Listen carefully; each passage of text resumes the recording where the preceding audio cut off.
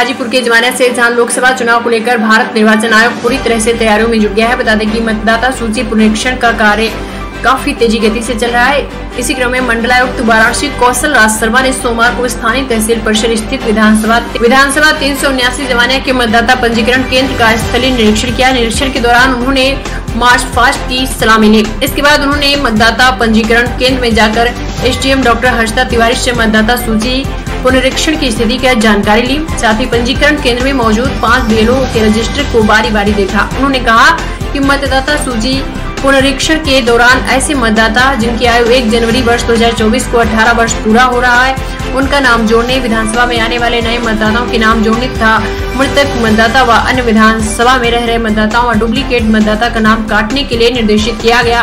साथ ही ऐसे परिवार जिनके सदस्य अलग अलग बूथों पर मतदान करते हैं, उन्हें एक ही बूथ पर सम्मिलित करने तथा दिव्यांगता के प्रकार के हिसाब से उन्हें बूथों पर सुविधा दिलाने के लिए निर्देशित किया, जिससे कि एक साफ़ सुथरी मतदाता सूची बनाई जा सके और निष्पक्ष तरीके से चुनाव संपन्न हो सके। स्थानीय मतदाता पंजीकरण केंद्र में तैनात कर्मचारियों व बीएलओ की जानकारी को तैयारियों को देख उन्होंने अपनी संतुष्टि ज़ाहिर करते हुए कहा कि मतदान सूची की जो तैयारियाँ यहाँ देखने को मिली हैं, अगर इसी तरह की तैयारियाँ हर विधानसभा में की जाए तो निश्चित रूप से मतदाता सूची में किसी को किसी प्रकार की परेशानी नहीं होगी। उक्त मौके पर एडीएम अरुण कुमार सिंह, जिलाधिकारी चंदौली निखिल, टीकाराम फुंडे तहसीलदार देवेंद्र कुमार नायब, तहसीलदार अवनीश कुमार शिवराई तहसीलदार रामजीत क्षेत्राधिकारी विधि भूषण और जिला सूचना अधिकारी राकेश कुमार सहित अन्य विभागीय अधिकारी व कर्मचारी मौजूद रहे। अपने अपने मंडल में वोटर लिस्ट रिवीजन का प्रभारी बनाया गया है। तो वाराणसी की जो चार जनपद हैं उसकी वोटर लिस्ट रिवीजन के हम प्रभारी हैं जिसमें जो ई आर ओज ए आर ओज या नीचे पूरी इलेक्शन मशीनरी जो कार्य कर रही है उसकी मॉनिटरिंग सुपरविजन हम लोगों को करना होता है।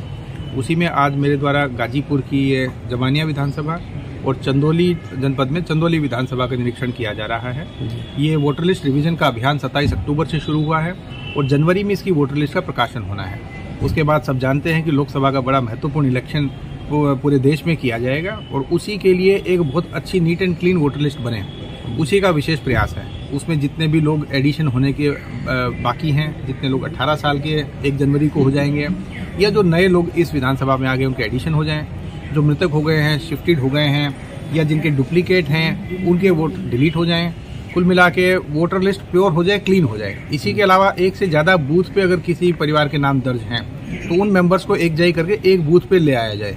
इस कार्य को कराने के लिए विशेष निर्देश मेरे द्वारा सभी एसडीएम्स की वीसी में दिए गए थे और 27 अक्टूबर को जब अभियान शुरू हुए थे तो वर्चुअल बैठकें हम लोगों ने की थी। उन्हीं का इम्प्लीमेंटेशन कितना हुआ और एक्चुअल में बीएलओ अभी साइट पे कितना काम कर रहा है, उसका सामान्य निरीक्षण करने के लिए आज हम यहाँ आए थे। अब बूथ पे भी कैंप हमारे चलेंगे सैटरडेज और संडेज को, जो दिवाली के बाद शुरू हो रहे हैं। तो तब हम बूथ की भी विज़िट करेंगे बूथ पे भी घूमेंगे।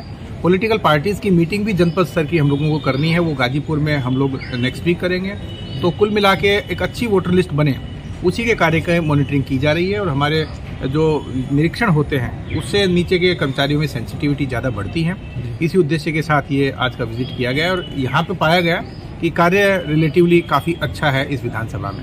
सामान्य रूप से इतना व्यवस्थित कार्य होता नहीं है तहसीलों में और जो वोटर्स का रिकॉर्ड है वो अव्यवस्थित रहता है। लेकिन यहाँ पे जो निर्देश दिए गए थे उनका पालन इस विधानसभा में किया गया है और कर्मचारियों का चाहे बीएलओ का सारों या कंप्यूटर ऑपरेटर्स का सभी का कार्य बड़ा अच्छा है। इसी प्रकार का कार्य अगर सारी विधानसभाएँ करेंगी तो निश्चित रूप से वोटर लिस्ट में कहीं दिक्कत नहीं आएगी। ठीक सर।